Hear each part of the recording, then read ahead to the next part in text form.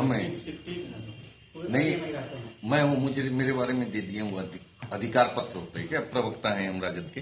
हाँ। उन्होंने दे दिया है मेरे लिए। कि उनके अनुपस्थित में आप बैठक आ गया ना। ठीक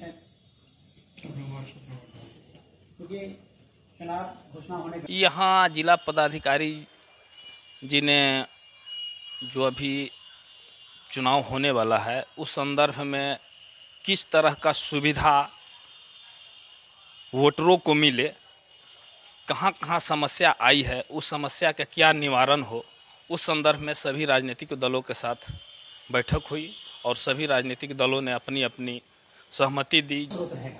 अब घर पर मालिक पत्र भेजे वो कहीं चले गए थे कुटमैता या बोलिए हम आपको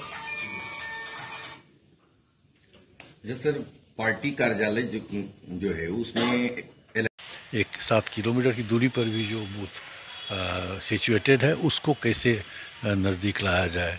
और जो मेन पॉपुलेशन खासकर जो ऐसे लोग हैं जो मजदूर वर्ग के हैं, गरीब हैं, उनके घर के पास तक बूथ जाता है कि नहीं?